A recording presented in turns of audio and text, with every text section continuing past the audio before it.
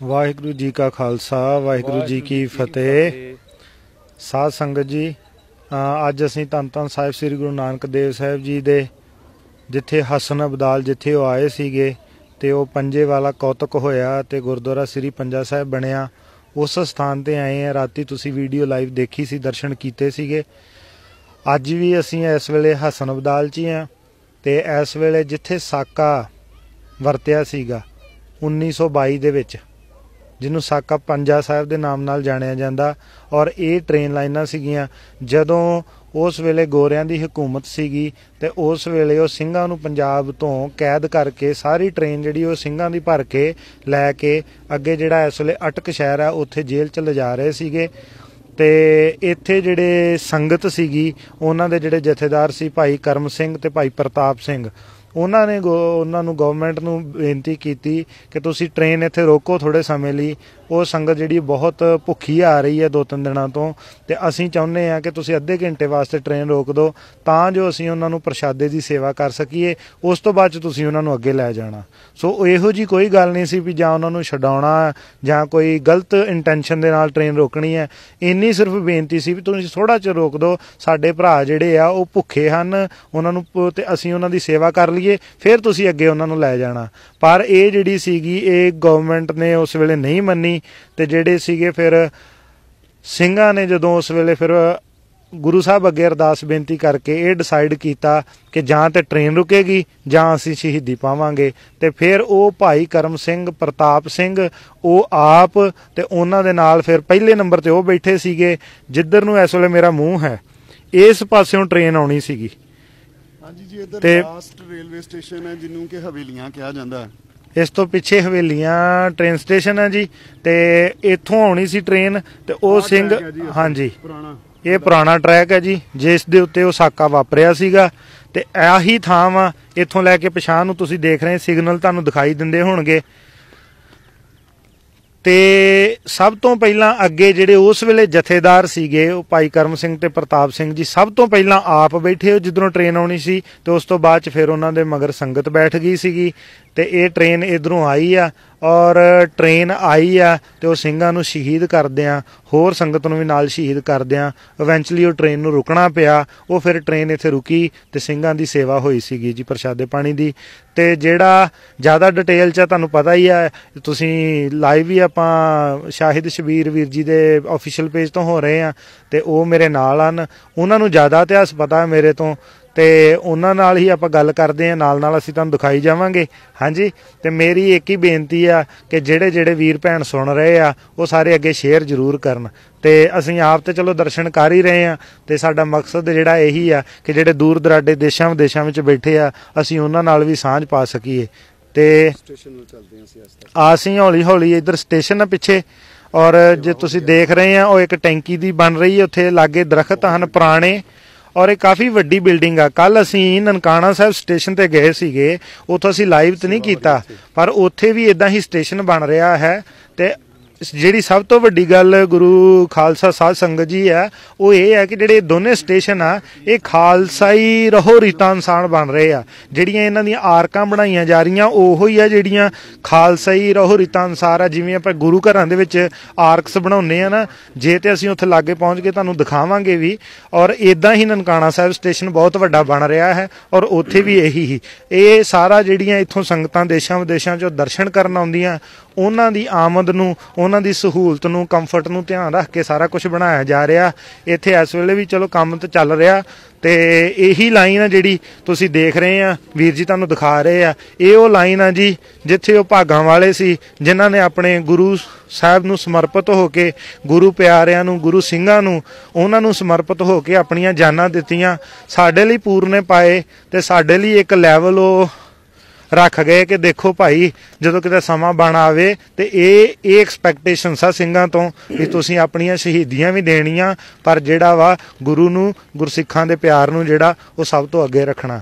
ਤੇ ਇੱਥੇ ਕਾਫੀ ਸੋਹਣੇ ਦਰਖਤ ਬੋੜ ਦੇ ਭਾਜੀ? ਜੀ ਬੋਰਡ ਹੈ ਦੋ ਪੀਪਲ ਹੈ ਬਾਕੀ ਸਾਰੇ ਬੋਰਡ ਹੈ ਅੱਛਾ ਜੀ ਹਾਂਜੀ। ਕੁਝ ਪੀਪਲ ਤੇ ਬੋਰਡ ਦੇ ਦਰਖਤ ਆ ਇਧਰ ਇੱਕ ਲਾਈਨ ਸਿਰ ਸੱਜੇ ਪਾਸੇ ਬੜੇ। ਜਿਹੜੀ ਕਿਉਂਕਿ ਆ ਟ੍ਰੇਨ ਲਾਈਨ ਹੋਣ ਕਰਕੇ ਮੈਨੂੰ ਲੱਗਦਾ ਉਸ ਵੇਲੇ ਜਿਹੜਾ ਸਟੇਸ਼ਨ ਦਾ ਸਾਈਡ ਇਹ ਹੋਊਗੀ ਮੇਨ ਜੀ। ਹਾਂਜੀ ਤੇ ਇਹ ਜਿਹੜੇ ਦਰਖਤ ਆ ਇਹ ਬੜੇ ਪੁਰਾਣੇ ਆ ਇਹ ਡੈਫੀਨਿਟਲੀ ਉਦੋਂ ਵੀ ਹੈਗੇ ਸੀਗੇ। ਬਿਲਕੁਲ ਹੈਗੀ ਸੀ। ਕਿਉਂਕਿ ਇਹ ਦਰਖਤਾਂ ਦੀ ਉਮਰ ਬਹੁਤ ਜ਼ਿਆਦੀ ਹੁੰਦੀ ਹੈ ਤੇ ਇਹੀ ਹੈ ਜੀ ਸਟੇਸ਼ਨ ਜਿੱਥੇ ਫਿਰ ਉਹਨਾਂ ਨੇ ਲੰਗਰ ਵਰਤਾਏ। ਉਹ ਲੰਗਰ ਜਿਹਨੂੰ ਅਸੀਂ ਸਾਕਾ ਪੰਜਾ ਸਾਹਿਬ ਦੇ ਨਾਮ ਨਾਲ ਸਾਰੀ ਦੁਨੀਆ 'ਚ ਨਾਲੇ ਤੇ ਯਾਦ ਕਰਦੇ ਆ ਇਹ ਜੀ 30 ਅਕਤੂਬਰ 1922 ਨੂੰ ਇਹ ਸਾਰਾ ਜਿਹੜਾ ਸਾਕਾ ਹੈ ਵਾਪਰਿਆ ਸੀਗਾ। ਜਿੱਥੇ ਕਿ ਜਦੋਂ ਇਹੋ ਜਿਹੇ ਸਾਕੇ ਅਸੀਂ ਸੁਣਦੇ ਆ ਸਾਡੇ ਮਨਾਂ ਅੰਦਰ ਇੱਕ ਦੁੱਖ ਦਾ ਹਾਂਜੀ ਪੈਦਾ ਹੁੰਦਾ ਹੈ ਪਰ ਨਾਲ ਹੀ ਇੱਕ ਜਿਹੜਾ ਇਹ ਮਾਣ ਵੀ ਹੁੰਦਾ ਹੈ ਕਿ ਸਾਡੇ ਵੱਡੇ ਵਡੇਰਿਆਂ ਨੇ ਸ਼ਹੀਦਾਂ ਦਿੱਤੀਆਂ। ਉਹ ਬੋਰਡ ਹੈ ਜੀ ਸਾਹਮਣੇ ਹਸਨ ਅਬਦਾਲ। ਹਸਨ ਅਬਦਾਲ ਇਸ ਟਾਊਨ ਦਾ ਨਾਮ ਹੈ। ਤੇ ਅਸੀਂ ਇਸ ਨੂੰ ਗੁਰਦੁਆਰਾ ਸ੍ਰੀ ਪੰਜਾ ਸਾਹਿਬ ਜੀ ਦੇ ਕਰਕੇ ਤੇ ਪੰਜਾ ਸਾਹਿਬ ਜਿਹੜਾ ਸੀ ਉਹਦੇ ਨਾਲ। ਹਾਂਜੀ ਅਸੀਂ ਅੱਗੇ ਵੀ ਵੀਰਾਂ ਦੇ ਨਾਲ ਇੱਥੇ ਸੇਵਾ ਕਰਾ ਰਹੇ ਸੀਗੇ। ਜਦੋਂ ਕਿ ਉਹ ਕੰਮ ਕਰ ਰਹੇ ਆ ਤੇ ਅਸੀਂ ਸੋਚਿਆ ਚਲੋ ਨਾਲ ਅਸੀਂ ਵੀ ਆਪਣਾ ਹਿੱਸਾ ਵੰਡਾਈਏ। ਚਲੋ ਜੀ। ਲੋ ਜੀ ਗੁਰੂ ਪਿਆਰੀ ਸੰਗਤ ਜੀ ਅਸਲਾਮ ਵਾਲੇਕੁਮ ਮੈਂ ਹਾਂ ਤੁਹਾਡਾ ਆਪਣਾ ਹੋਸਟ ਬਾਬਾ ਜੀ ਸ਼ਾਹਿਦ ਚਬੀਰ। ਔਰ ਭਾਜੀ ਪਹੁੰਚ ਗਏ ਹੈ ਸੇਵਾ ਕਰਨ ਨੂੰ ਕਿਉਂਕਿ ਕਾਰ ਸੇਵਾ ਹੋ ਰਹੀ ਹੈ ਤੇ ਉਹ ਕਹਿ ਰਹੇ ਆ ਕਿ ਅਸੀਂ ਕਾਰ ਸੇਵਾ ਜਿਹੜੀ ਹੈ ਉਹ ਕਰਨੀ ਹੈ। ਆਹ ਦੇਖ ਲਓ ਜੀ ਭਾਜੀ।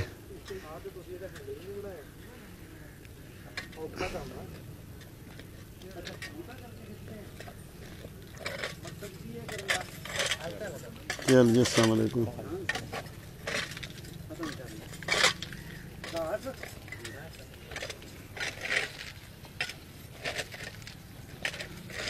ਪਿੱਛੇ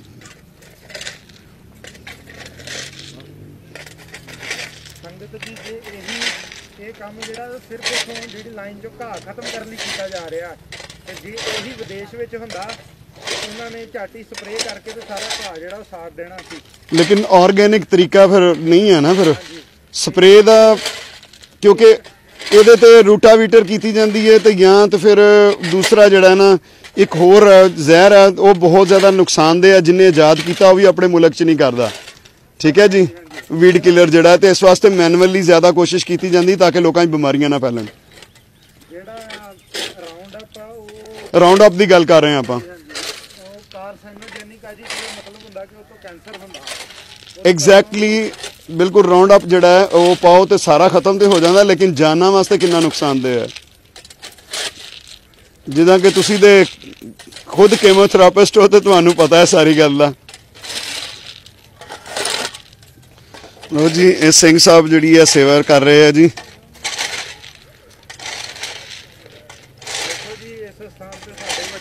ਸਤਿ ਸ਼੍ਰੀ ਅਕਾਲ, ਰਾਜਵੰਤ ਕੌਰ ਬਾਜੀ। ਨਿਸ਼ਾਨ ਸਿੰਘ ਜੀ, ਸਤਿ ਸ਼੍ਰੀ ਅਕਾਲ ਜੀ। ਕੁਮਾਰ ਸੰਭਵ ਜੀ, ਸਤਿ ਸ਼੍ਰੀ ਅਕਾਲ ਜੀ। ਗੁਰਮੀਤਪਾਲ ਜੀ, ਸਤਿ ਸ਼੍ਰੀ ਅਕਾਲ ਜੀ। ਅਰਵਿੰਦਰ ਜੀ, ਸਤਿ ਸ਼੍ਰੀ ਅਕਾਲ ਜੀ।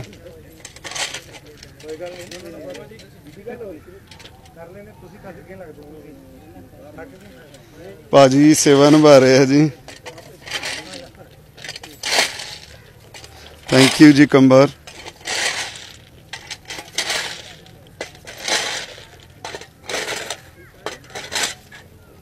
ਥੈਂਕ ਯੂ ਬਾਜੀ, ਜੀ ਆਇਆਂ ਨੂੰ।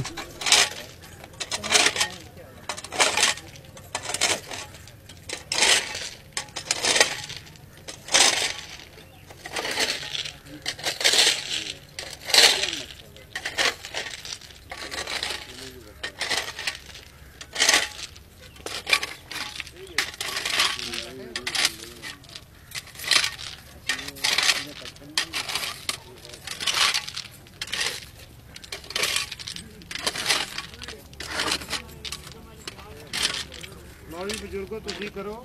ਅਸੀਂ ਫਿਰ ਸੰਗਤ ਨੂੰ ਹੋਰ ਵੀ ਦਰਸ਼ਨ ਕਰਾਉਣੇ ਆ ਤੇ ਕਰਾ ਦਈਏ। ਲਓ ਜੀ ਹਸਨ ਅਬਦਾਲ ਸਟੇਸ਼ਨ ਆ ਗਿਆ ਜੀ। ਜਿੱਦਾਂ ਕਿ ਵੀਰ ਜੀ ਨੇ ਸਾਰੀ ਗੱਲ ਤੁਹਾਨੂੰ ਦੱਸੀ ਹੈ ਹੁਣ ਕੋਈ ਬਹੁਤਾ ਰਹਿ ਨਹੀਂ ਗਿਆ ਮੇਰਾ ਦੱਸਣ ਵਾਲਾ, ਲੇਕਿਨ ਇੰਨਾ ਪਤਾ ਹੈ ਕਿ ਬ੍ਰਿਟਿਸ਼ ਸਰਕਾਰ ਨੇ ਗੱਡੀ ਰੋਕਣ ਤੋਂ ਇਨਕਾਰ ਕਰ ਦਿੱਤਾ ਸੀ, ਕਿਉਂਕਿ ਉਹਨਾਂ ਨੂੰ ਇਸ ਤਰ੍ਹਾਂ ਲੱਗ ਰਿਹਾ ਸੀ ਜਿਸ ਤਰ੍ਹਾਂ ਕਿ ਉਹ ਸਿੰਘ ਜਿਹੜੇ ਆ, ਆਪਣੇ ਕੈਦੀਆਂ ਨੂੰ ਛੁਡਾਉਣ ਲਈ ਆਏ ਆ। ਲੇਕਿਨ ਇਦਾਂ ਦੀ ਗੱਲ ਕੋਈ ਨਹੀਂ ਸੀ। ਔਰ ਇਤਿਹਾਸ ਦੇ ਵਿੱਚ ਪੇਂਟਿੰਗ ਵੀ ਮੌਜੂਦ ਹੈ। ਅੱਜ ਤੱਕ ਜਿਹਦੇ ਉੱਤੇ ਲਿਖਿਆ ਹੋਇਆ ਦੇਗ ਜਿਹੜੀ ਹੈ ਪਈ ਹੋਈ ਹੈ ਪ੍ਰਸ਼ਾਦੇ ਪਏ ਹੋਏ ਆ ਖਿਲਰੇ ਹੋਏ ਔਰ ਸੰਗਤ ਜਿਹੜੀ ਹੈ ਉਹ ਥੱਲੇ ਆ ਗਈ ਹੈ ਟ੍ਰੇਨ ਦੇ। ਠੀਕ ਹੈ ਜੀ? ਤੇ ਫਿਰ ਅ, ਭਾਜੀ ਜਿਹੜੇ ਹੈ ਉਹ ਸਾਰੀ ਜਿਹੜੀ ਹੈ ਦੱਸਣਗੇ ਅਰਦਾਸ ਬੇਨਤੀ ਜਿਹੜੀ ਕਿ ਇਹਨਾਂ ਨੇ ਗਵਰਨਮੈਂਟ ਨੂੰ ਕੀਤੀ ਔਰ ਗਵਰਨਮੈਂਟ ਨੇ ਮੰਨ ਕੇ ਇਸ ਰੇਲਵੇ ਸਟੇਸ਼ਨ ਦੀ ਤਵਾਰੀਖੀ ਜਿਹੜਾ ਰੇਲਵੇ ਸਟੇਸ਼ਨ ਹੈ ਉਹਦੀ ਜਿਹੜੀ ਹੈ ਸੇਵਾ ਉਹ ਸ਼ੁਰੂ ਕੀਤੀ ਹੈ। ਜੀ ਭਾਈ ਜੀ। ਹਾਂਜੀ ਭਾਈ ਸਾਹਿਬ ਜੀ ਆਪਣਾ ਨਾਮ ਦੱਸੋ ਪਹਿਲਾਂ वाहिगुरु जी का खालसा वाहिगुरु जी की फतेह मैं बोल रहा हूँ गुरुद्वारा पंजा साहब में अ, मैं रागिया भाई सुदाम सिंह नाम है मेरा तो ਕੰਦਕੋਟ संग मैं सिंध तो आया डिस्ट्रिक्ट कंदकोट डिस्ट्रिक्ट कश्मीर तो ਇਸ ਵਕਤ ਅਸੀਂ ਹਸਨ ਅਬਦਾਲ ਡਿਸਟ੍ਰਿਕਟ ਅਟਕ ਸੇਵਾ ਕਰ ਰਹੇ ਹੋ ਵੀ ਦੱਸ ਦਿਓ ਜ਼ਰਾ ਅਸੀਂ ਹਸਨ ਅਬਦਾਲ ਵਿੱਚ ਖੜੇ ਹਾਂ ਇਸ ਇਸ ਸ਼ਹਿਰ ਨੂੰ ਕਹਿੰਦੇ ਨੇ ਹਸਨ ਅਬਦਾਲ ਡਿਸਟ੍ਰਿਕਟ ਅਟਕ ਵਿੱਚ ਆਂਦਾ ਹੈ ਗੁਰਦੁਆਰਾ ਪੰਜਾ ਸਾਹਿਬ ਵਿੱਚ ਅਸੀਂ ਰਹਿੰਦੇ ਹਾਂ ਤੇ ਮੇਰਾ ਇੱਥੇ ਤਕਰੀਬਨ 15 ਸਾਲ ਹੋ ਗਏ। 15 ਸਾਲ ਤੋਂ ਇੱਥੇ ਰਹੇ ਹਾਂ। ਜਿਹੜੀ ਜਗ੍ਹਾ ਤੁਸੀਂ ਵੇਖ ਰਹੇ ਹੋ, ਸਾਹਮਣੇ ਸਟੇਸ਼ਨ ਬਣ ਰਹੀ ਹੈ।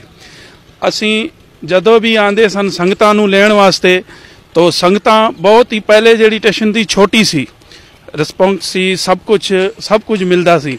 ਤੇ ਅਸੀਂ ਗਵਰਨਮੈਂਟ ਨੂੰ ਇਹ ਰਿਕੁਐਸਟ ਕੀਤੀ ਕਿ ਸਾਡੀ ਸੰਗਤਾਂ ਆਂਦੀਆਂ ਜਾਂਦੀਆਂ ਗੁਰੂ ਕੀ ਸੰਗਤਾਂ ਆਉਣ ਜਾਂਦੀਆਂ ਤੇ ਉਹਨਾਂ ਵਾਸਤੇ ਸਟੇਸ਼ਨ ਵਧੀਆ ਬਣਾਈ ਜਾਏ ਔਰ ਬੜੀ ਕਰਕੇ तो गवर्नमेंट ने साड़ी बेनती बहुत ही परवान की थी बहुत शुक्रगुजार हाँ ਅਸੀਂ अपने पाकिस्तान गवर्नमेंट के जो ये स्टेशन बन रही है ये तो अभी इतनी सी बनी है जब बन जाएगी तो बहुत खूबसूरत उन्होंने बनाई है संगतां ਦੀ ਉਹਨਾਂ ਨੇ ਬੇਨਤੀ ਪ੍ਰਵਾਨ ਕੀਤੀ ਹੈ ਔਰ ਇਹ ਜਿੰਨਾ ਵੀ ਸਟੇਸ਼ਨ ਦਾ ਕੰਮ ਹੋ ਰਿਹਾ ਹੈ ਬਹੁਤ ਅੱਛਾ ਵਧੀਆ ਹੋ ਰਿਹਾ ਹੈ ਜਿੱਥੇ ਅਸੀਂ ਖੜੇ ਹਾਂ ਇੱਥੇ ਹੀ ਸਿੰਘ ਸ਼ਹੀਦ ਹੋਏ ਸਨ ਇੱਥੇ ਹੀ ਗੁਰੂ ਕੇ ਪਿਆਰੋਂ ਨੇ ਲੰਗਰ ਛਕਾਇਆ ਸੀ तो ਉਹੀ ਗਵਰਨਮੈਂਟ जितना भी काम करवा रही है साढ़े ਲਈ ਬਹੁਤ ਕੁਝ ਕਰ ਰਹੇ हैं तो मैं इतनी बेनती करूंगा जिथे ਅਸੀਂ ਭਾਈ ਸਾਹਿਬ ਨਾਲ ਖੜੇ ਹਾਂ तो ये वो जगह है गुरुद्वारा पंजा साहब हसन अब्दाल में ये स्टेशन पे खड़े हैं आइंदा वास्ते दो साल के बाद तुम ये स्टेशन वेखोगे ऐसे चमके की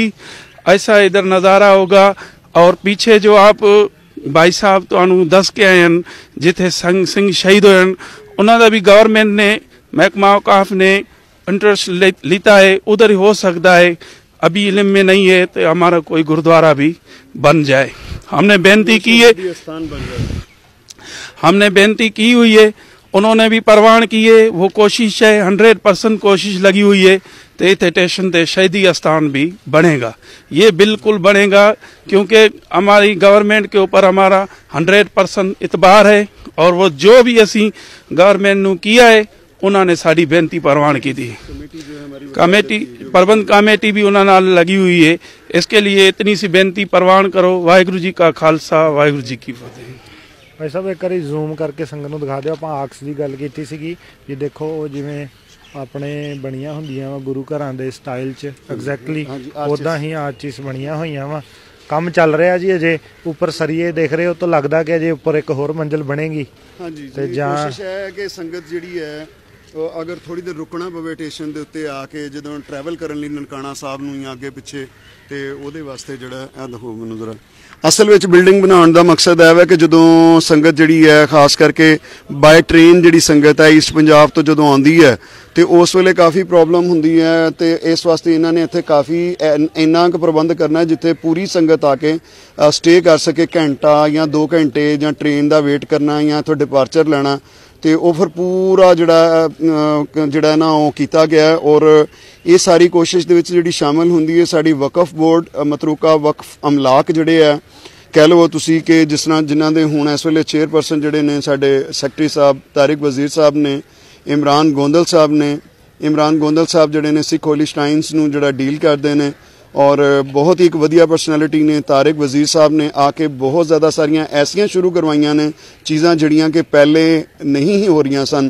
ਉਹਨਾਂ ਦੇ ਉੱਤੇ ਤਵੱਜੋ ਨਹੀਂ ਸੀ ਦਿੱਤੀ ਜਾ ਰਹੀ ਤੇ ਤਾਰਿਕ ਵਜ਼ੀਰ ਸਾਹਿਬ ਨੇ ਸਾਨੂੰ ਦੱਸਿਆ ਕਿ ਅਸੀਂ ਹੋਰ ਵੀ ਬਹੁਤ ਕੁਝ ਕਰ ਰਹੇ ਹਾਂ। ਬਹੁਤ ਜਲਦੀ ਤੁਹਾਨੂੰ ਕਮੇਟੀ ਦਾ ਲਾਏ ਅਮਲ ਜਿਹੜਾ, ਉਹ ਦੱਸਿਆ ਜਾਏਗਾ। ਇਹ ਪੁਰਾਣਾ ਇੱਕ ਬੋਰਡ ਹੈ ਕਿਉਂਕਿ ਸਟੇਸ਼ਨ ਬਣ ਰਿਹਾ ਹੈ ਤੇ ਲੇਕਿਨ ਇੱਕ ਪੁਰਾਣਾ ਜਿਹੜਾ ਬੋਰਡ ਹੈ, ਉਰਦੂ ਦੇ ਵਿੱਚ ਵੀ ਹੈ ਔਰ ਨਾਲ ਹੀ ਨਾਲ ਗੁਰਮੁਖੀ ਦੇ ਵਿੱਚ ਵੀ ਹੈ ਔਰ ਜਿਹੜਾ ਮਤਲਬ ਕਿ ਉਰਦੂ ਗੁਰਮੁਖੀ ਜੀਆਂ ਨੂੰ ਯਾਨੀ ਕਿ ਲਿਖਿਆ ਹੋਇਆ ਸੰਗਤ ਵਾਸਤੇ, ਠੀਕ ਹੈ ਜੀ? ਔਰ ਇਸ ਤੋਂ ਬਾਅਦ ਆ ਜਿਹੜਾ ਤੁਸੀਂ ਕਹਿ ਲਓ, ਦੇਖ ਲਓ, ਉਹੀ ਪੁਰਾਣਾ ਨਜ਼ਾਰਾ ਹੈ ਜੀ।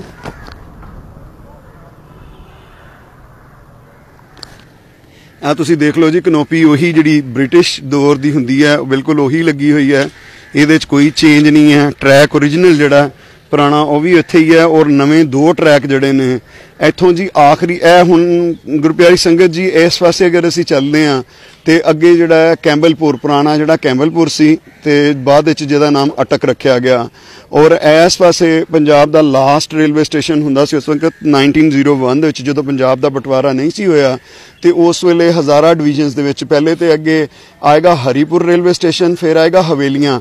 ਹਵੇਲੀਆਂ ਤੁਹਾਨੂੰ ਮੈਂ ਕੋਈ ਤਕਰੀਬਨ 3 ਤੋਂ 4 ਵਾਰੀ ਦਿਖਾ ਚੁੱਕਿਆ ਵਾਂ। ਕਿ ਜਿਹਦੇ ਵਿੱਚ ਸਮਝ ਲਓ ਕਿ ਆ, ਡਿਵੀਜ਼ਨਸ ਜਿਹੜੇ ਨੇ ਹਜ਼ਾਰਾਂ ਡਿਵੀਜ਼ਨਸ ਦੇ ਜਿਹੜਾ ਆਖਰੀ ਰੇਲਵੇ ਸਟੇਸ਼ਨ ਹੁੰਦਾ ਸੀ ਉਹ ਹੁੰਦਾ ਸੀ ਇਸ ਪਾਸੇ ਹੁੰਦਾ ਸੀ ਜੀ। ਤੇ ਮੈਂ ਹਾਂ ਤੁਹਾਡਾ ਆਪਣਾ ਹੋਸਟ ਬਾਬਾ ਜੀ। ਗੁਰੂ ਪਿਆਰੀ ਸਾਧ ਸੰਗਤ ਜੀ ਅਸੀਂ ਜਿੰਨੀ ਕੁ ਸਾਨੂੰ ਗੁਰੂ ਸਾਹਿਬ ਨੇ ਸਮਰੱਥਾ ਦਿੱਤੀ ਤੁਹਾਡੇ ਨਾਲ ਸਾਂਝ ਵੀ ਪਾਈ ਹੈ ਤੁਹਾਨੂੰ ਦਰਸ਼ਨ ਵੀ ਕਰਾਉਣ ਦੀ ਕੋਸ਼ਿਸ਼ ਕੀਤੀ ਹੈ ਚੱਲ ਰਹੇ ਕਾਰਜਾਂ ਬਾਰੇ ਵੀ ਜਾਣਕਾਰੀ ਦਿੱਤੀ ਹੈ। ਗੁਰੂ ਸਾਹਿਬ ਕਿਰਪਾ ਕਰਨ, ਸਾਡੀ ਸੇਵਾ ਪਰਿਵਾਰ ਕਰਨ, ਤੁਸੀਂ ਵੀ ਪ੍ਰਵਾਨ ਕਰਨੇ ਹੋ। ਹੋਈਆਂ ਭੁੱਲਾਂ ਦੀ ਮਾਫੀ ਮੇਰੇ ਵੱਲੋਂ ਫਤਿਹ ਹੈ ਜੀ। ਵਾਹਿਗੁਰੂ ਜੀ ਕਾ ਖਾਲਸਾ, ਵਾਹਿਗੁਰੂ ਜੀ ਕੀ ਫਤਿਹ ਜੀ। ਹਾਂਜੀ ਜੀ, ਮੈਂ ਹਾਂ ਤੁਹਾਡਾ ਆਪਣਾ ਹੋਸਟ ਸ਼ਾਹਿਦ ਸ਼ਬੀਰ ਔਰ ਅੱਜ ਦਾ ਦਿਨ ਵੀ ਸਾਡਾ ਜਿਹੜਾ ਇਨਕ੍ਰੈਡੀਬਲ ਖਾਲਸਾ ਹਿਸਟਰੀ ਦੇ ਬਾਰੇ ਚ ਸਰਦਾਰ ਜੀ ਨੂੰ ਅਸੀਂ ਲੈ ਕੇ ਚੱਲਾਂਗੇ ਨਾਲ। ਅਸੀਂ ਕੁਝ ਦੇਰ ਬਾਅਦ ਜਾ ਕੇ ਹਰੀਪੁਰ ਤੋਂ ਲਾਈਵ ਹੋਵਾਂਗੇ, ਜਿੱਥੇ ਕਿ ਕਹਿ ਲਓ ਤੁਸੀਂ ਜਨਰਲ ਹਰੀ ਸਿੰਘ ਨਲਵਾ ਨੇ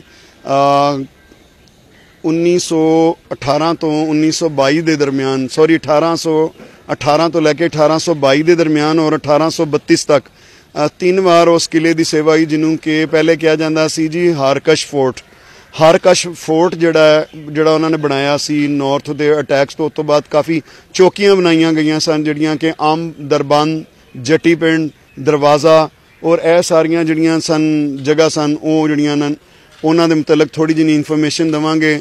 ਫਿਲ ਵਕਤ ਤੁਹਾਡੇ ਤੋਂ ਅਸੀਂ ਇਜਾਜ਼ਤ ਚਾਹਾਂਗੇ ਔਰ ਕੋਸ਼ਿਸ਼ ਕਰਾਂਗੇ ਤੁਹਾਨੂੰ ਕਿ ਇਤਿਹਾਸ ਜਿਹੜਾ ਉਹ ਸਹੀ ਤਰੀਕੇ ਨਾਲ ਦਸੀਏ ਅਨਬਾਇਸ ਦਸੀਏ, ਜਿਹੜਾ ਕਿ ਆਲਰੇਡੀ ਮੇਰਾ ਖਿਆਲ ਉਹਨਾਂ ਦੀਆਂ ਪੈੜਾਂ ਆਈਆਂ, ਜਿਹੜੀਆਂ ਤੁਹਾਨੂੰ ਫੁੱਟ ਸਟੈਪਸ ਨੇ, ਉਹ ਘੱਟ ਮਿਲਦੇ ਨੇ। ਠੀਕ ਹੈ ਜੀ? ਤੇ ਰੱਬ ਰਾਖਾ ਜੀ, ਮੈਂ ਇਜਾਜ਼ਤ ਚਾਹਾਂਗਾ ਤੁਹਾਡੇ ਕੋਲੋਂ। ਕੁਝ ਦੇਰ ਬਾਅਦ ਅਸੀਂ ਫੇਰ ਹਾਜ਼ਰ ਹੋਨੇ ਆ ਜਾਣਾ ਨਹੀਂ। ਕੀਪ ਇਨ ਟੱਚ ਅੱਜ ਦਾ ਦਿਨ ਵੀ ਐਕਸਪਲੋਰਿੰਗ ਤੋਂ ਖਾਲੀ ਨਹੀਂ ਜਾਏਗਾ। ਤੁਹਾਨੂੰ ਬਹੁਤ ਕੁਝ ਐਸਾ ਸਾਹਮਣੇ ਲੈ ਕੇ ਆਵਾਂਗੇ, ਜਿਹੜਾ ਪਹਿਲੇ ਸੀ, ਨਹੀਂ ਦਿਖਾਇਆ। ਵਾਹਿਗੁਰੂ ਜੀ ਕਾ ਖਾਲਸਾ।